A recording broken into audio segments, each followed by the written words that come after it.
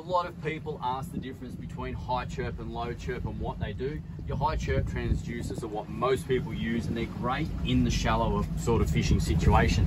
They do work out deeper, but what you lose is the detail and that's where the low chirp transducer comes into its own. And even in 150 odd meters of water, they work so well, but here we are in 350. We've got low chirp running on this side, we've got high chirp running on this side.